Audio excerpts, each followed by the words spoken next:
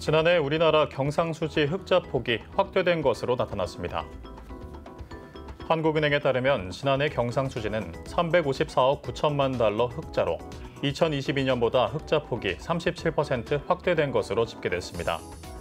특히 지난해 우리나라는 중국과의 거래에서 역대 최대 적자를 기록했지만 미국 상대 거래에서는 승용차 수출 호조 등에 힘입어 역대 최대 흑자를 기록한 것으로 파악됐습니다.